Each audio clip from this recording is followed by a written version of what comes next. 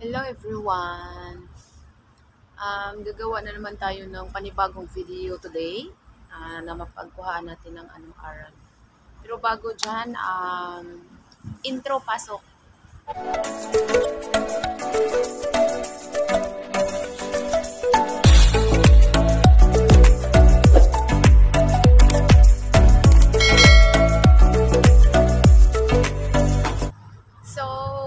Up mga kasaysi naman dyan? Migalab shout out sa ating lahat.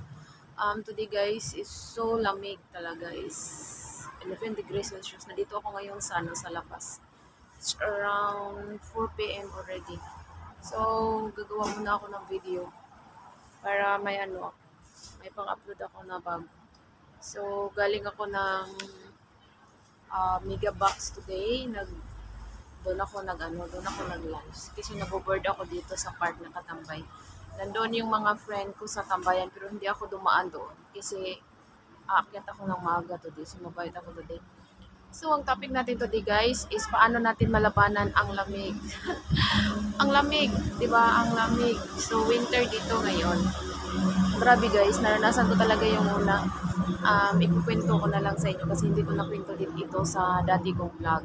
Um, first uh, first na dumating ako dito, grabe ang lamig talaga guys. Nagka, nagkasakit talaga ako. As in, nilagnat ako, sinisipon ako. Kasi nag-adjust ako sa, ano, sa climate kasi dito. Kasi alam niyo na, ang, ang init dito sa, ang init doon sa, ano, sa Pilipinas. Tapos ang lamig-lamig dito. Kaya nanibago talaga ako sa, ano, nanibago talaga ako sa climate dito. So, ayun, nagkasakit ako, inuubo ako, sabi niya mo, okay lang ba daw ako? Sabi ko, parang hindi ako okay, ma'am. So, ayun, dinala ko ni ma'am sa doktor, nilistahan ako ng ano. Lalagnatin ako ng ano, guys, lalagnatin ako nung gabi, pero nung sa araw, hindi ako nilalagnat. Parang, ang lamig-lamig, ang lamig-lamig ng feeling ko, pero ang init-init ko. Tapos may lagnat na ako. Tapos, dinala yun, dinala na ako ni ma'am ng ano, ng doktor. So, Ah, tips lang guys, pag nandito kayo sa malamig na lugar, kahit saan man, magsuot kayo ng warmer. Ah, bili talaga kayo ng warmer bago kayo mag ano, bago kayo mag jacket. Ito, ito ang ano, pakita ko. Ito may jacket ako. Tapos may warmer pa ako. May warmer ako sa loob, isa. Tapos mayroon pa akong ah isa pa isa pa ring warmer. So dalawa na. So ito pa jud ang pinaka pinakalabas. Tatlo na. Pang-apat tong jacket ko. So, hindi ko talaga ano, hindi ko talaga mapifeel yung sobrang ano, sobrang lamig kasi apat yung suot ko. Dala, dalawa yung warmer ko kasi 11 degrees ngayon. So, ang lamig talaga. Ayun. So, nag-jeans ako. Nag-jeans ako, tapos nag-shawl pa din ako kasi ang lamig-lamig. Nakalimutan ko lang yung ano, nakalimutan ko yung yung sombrero ko. Dapat nagka-sombrero ako pero okay na to kasi aakyat ako na ano, aakyat na ako mamaya. So ayun guys, panlaban lang ng ano, panglaban ng lamig. Hindi naman dito nag-snow. Not like sa other country na may snow talaga like Poland, Canada. Kailangan nyo, tap, nyo pa talaga ng ano, kapal na kapal na, na ano damit. So ayun dito, medyo lamig-lamig lang. Pero malamig na talaga yung 11 degrees. Dito, ah, naranasan ko 7 degrees, 7 degrees ata yun. Pero isang araw lang yun 7 degrees. So the other other day mga 9 na yun up. Tapos ah, February ngayon. So next month mag-in na yung ano, mag-in na yung winter, mga katapusan siguro ng March. Pero hindi na talaga siya masyadong malamig sa March. So, ito lang nakafeel na ako ng ano, medyo malamig talaga. Pero on other side dito sa Hong Kong, yung malapit sa ano, malapit sa malapit sa dagat ang lamig-lamig talaga doon. Kaya ayun, kailangan talaga nila ng ano, talokbong. Pero yung mga ano, yung mga Indonesian, gamit talaga yung ano nila. 'Di ba may meron silang ano, parang ilalagay sa ano nila, iwan ko kanong tawag doon. Ang, ang ano, very helpful talaga siya minsan magaganyan ako. Kasi ma umiinit yun yung ano mag, mag maglagay ka ng ano sa ulo mo. So ayun. Yun ang panglaban. Tips ko panglaban ng ano yung lamig. Mag warmer talaga kayo. Dalawa talaga yung warmer na ginagamit ko. Pero feel- nafe-feel ko pa rin yung ano napipil ko pa rin yung lamig. Kasing lamig ng ano pag-ibig nila. Char! So ayun. Um ano pa ba? Anong pag-usapan natin today? Ayun pala um, sa mga kababayan pala natin na nandyan sa Pilipinas, ah, may naririnig ako na, may naririnig ako kadalasan natin, naririnig natin yan. Pagkagaling na na ng abroad, ah, biglang, biglang, anong tawag nan? Biglang nag-iba na yung ugali. Parang, parang hindi na namamansin. Parang feeling mayaman na yung ganyan. Char mo yung ganyan, gan- ganyan guys. Oy, bakit ba? Hindi mayaman ng ano guys, hindi mayaman ng abroad, hindi kami mayaman, hindi ako mayaman. Um, akala lang nila yun, akala lang yan ng iba ng ibang tao. Ah, hindi pa nga ako nakauwi, hindi pa nga ako nakauwi kasi hindi pa ako yung mayaman. Siguro yung nakauwi na nag for good na siguro yung may mga naipon na talaga na ano, naipon na talagang ano mga pera kasi matagal na sila sa ibang bansa. Siyempre may mga ipon na yun. Pero yung yung sinasabi nila na nag-iba ng ugali, parang sa Bisaya pa nagpinamay na di na si eh, hindi na sila ano, hindi na sila namamansin. Ibig sabihin hindi na sila managad sa amo ang salita, sa amo ang is- inistoryahan. Di na sila managad. In other words, mga hilaso na sila guys. So sa mga mga Bisaya na karelate diha, di mo maghinilas nagikan mo sa laing nasod kay kamo kuan ra gihapon, mao ra gihapon ta dili mo mag-inusab. Napay uban nga moingon nga mga arte na di na muka og ginamos, di na muka og bulad. Ah, sa Tagalog, Tagalogin ko kasi may mga viewers tayo na Tagalog. Ah, ah, may mga kababayan tayo na pagdating sa Pilipinas, hindi na kumakain ng tuyo, hindi na kumakain ng anong tawag sa Tagalog ng ginamos? Alamang ba yun? Hindi ko alam. Yon, yon, yon ang yon. Kayo nang mag-adjust yung ginamos sa Bisaya, hindi ko alam. Alamang siguro yon sa Tagalog. Mahi- Mahina ako sa Tagalog. so ayun, parang galing na daw ng abroad.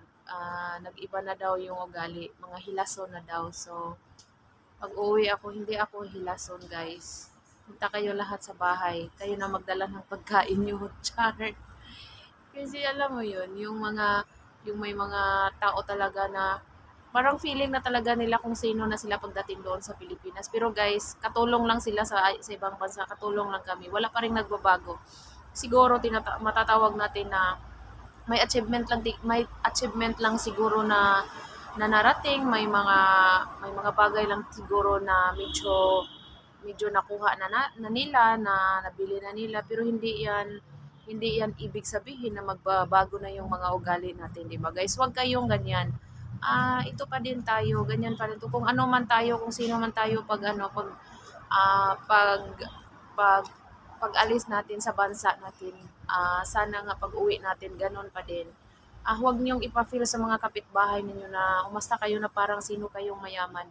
Um, ganun pa din yun. Kung, kung may narating man tayo, kung may narating man kayo sa buhay, walang, walang nagbago, ganun pa din. Kaya huwag kayong masta, umasta na para kung sino na hindi na kayo namamansin ng mga kapitbahay nun, yung mga kakilala nyo. Ako, hindi ako ganyan. Pag hindi ako nyo papansinin pag uwi ko dyan sa Pinas, promise, suntukin ko kayo. Susuntukin ko talaga kayo. Hindi, hindi ko yun, hindi ako yung tipong tao na ang taas ng tingin sa sarili kahit porkit nakapunta na ng ibang bansa.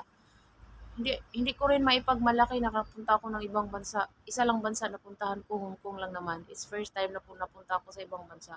Pero siguro masasabi ko sa sarili ko na proud ako nakapunta ako sa ibang bansa. Pag nag-tour lang ako doon, 'di ba? Pag parang tourist lang ako doon, pero nanilbihan ako dito, nagtrabaho ako ng ibang tao, hindi para sa kung sino man. Nagtrabaho ako dito para magkapera. Hindi ako hindi ko masasabi na parang pag-uwi ko doon, para kung sino na akong mayaman na, um- na dumating doon. Guys, wala akong pera. May trabaho lang ako yon So, yung mga aim namin, aim na, ah, basta ang aim ko, hindi ko na, hindi ko lahatin. May na ano lang talaga ako. Ah, based on my experience yan, ah, may kakilala ako dati, galing siya sa Singapore. Singapore, ah, Singapore ba? Oo, galing siya ng Singapore. Ah, kung umasta na siya, promise, kung umasta na talaga siya pagdating na, niya doon sa Pilipinas, parang kung sino na siyang mayaman, hindi na, hindi na talaga siya namamansin ng mga, dati niyang mga friend, dati nang yung mga, mga co-workers, ano, hindi ko na lang sasabihin kasi parang nanonood siya. Ah, alam mo na kung sino ka, um, da, di ba dati, kung umasta ka para kang sino, sino, sino ka na, mga 6 years ata siya sa ano, Singapore. So, it means six years, matagal-tagal na, di ba? So may narinig lang ako na hindi na talaga siya namamansin. Ah, napahiya lang yung isang friend nila na na nag ano nag nag say hi sa kanya pero hindi niya tinul, tin, tiningnan na lang daw. Hindi na ano parang hinuyo na siya. Parang huyo parang ganyan na. So bakit naman tayo magbabago di ba? Um kung may kung may na marami kayong naipon sa buhay kung sa tingin niyo mayaman na kayo kasi marami na kayong pera pag namamatay kayo hindi niyo yan hindi niyo yan madadala. At hanggang sa ano na lang yan hanggang dito lang yan sa mundo hindi niyo na hindi niyo na yan madadala pag mamamatay kayo. So wag niyo wag kayong magbago wag tayong magbago. Kung sino kung ano man ang narating natin sa buhay kung mayaman na kayo sa feeling niyo asa inyo din naman yun. Pero sa sarili ko hindi ko hindi ko talaga masabi na na galing sa abroad mayaman. Siguro may mayaman pero ba't naman magbago yung mga ugali di ba? Ang saklap ang saklap. Pero nakaka-proud sa sarili na may achievement tayo na nagawa lumayo tayo sa family natin. Pero hindi nakaka-proud ah, pakinggan na nakakaibang na, na anong tawag nito nangingibang bansa ka pero biglang nagbago yung ugali mo. So ayun, tips ko lang sa inyo guys, pag galing kayo ng ibang bansa, ba't naman kayo magbabago? Anong meron sa ibang bansa, ba? Um, anong nakuha nyo doon? Ba't kayo nagbago? Yung dati pag pag ano, pag alis nyo sa Pilipinas, okay din naman. Marami pa naman din kayong kaibigan. Siguro may consequences na hindi nyo hindi nyo pinapansin na ang mga kaibigan nyo dati, siguro may pinagdaanan kayo or sila yung mga taong nagbibigay ng sakit sa kalooban ninyo. Siguro may rason tayo ng ganyan. Pero yung mga friend natin na very close sa atin, very ah, yung mga tinatawag natin na palaging kabanding natin, palaging kausap natin. Pero pagdating natin sa Pilipinas, hindi na natin papansinin, ay ba na yun? So, masasabi talaga na nagbago na tayo. So, ah, huwag kayong ganyan kasi siguro masasabi ng iba na ang pera nakapagbabago ng ugali. Pero sa isip ko, hindi, hindi guys. Hindi talaga yan. Siguro may ugali lang, may ugali lang siguro na ah, ganyan talaga. So, ayun lang ang tips ko guys. Pag naka-abroad kayo, huwag kayong magbago. Kasi pag uwi ko, talagang kung ano ako, pag, pag, ah, ano, pag alis ko sa Pilipinas, ganun pa din ako. Kahit sana ako magpunta, marami akong kaibigan. Siguro isang village yung mga friend ko. Ang yung iba, pinagtaguan ko na nga lang. Sa nakapanood dito ng mga friend ko, alam niyo na kung sino kayo, yung mga friend ko dyan sa Pilipinas. Sa nakakaalam sa akin ng mga kapitbahay ko, ng mga ah, friend ko dyan, alam nila kung sino ako talaga. So, kung magbago ako, siguro sa paki nila ako. So, ayun guys, ah, tips ko yan sa inyo, yung winter at saka ano, mga ugaling naka-upload na magbago na talaga pagdating sa Pinas. So, ayun lang muna ang topic natin today guys. Um, sa hindi pa pala nakasubscribe ng YouTube channel ko, please subscribe my YouTube channel, Sai CTV, and don't forget to hit the notification bell para palagi kayong updated sa mga videos ko. Thank you for watching. Bye-bye!